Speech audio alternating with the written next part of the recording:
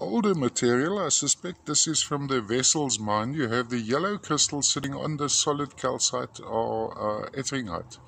Now this specimen, the calcites are a little bit scratched or damaged.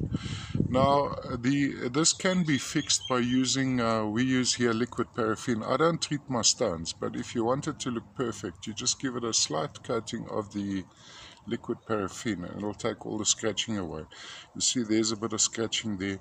So there is a touch of damage on this piece, but it's it's a very nice representative piece of the, the ettringite and the calcite associated with it.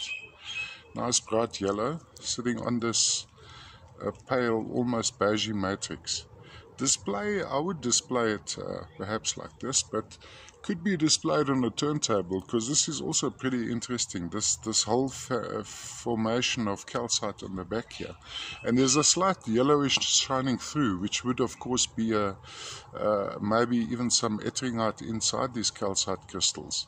The dusting over the top, the blackness could be tiny manganites, and this I suspect is from the Wessels mine.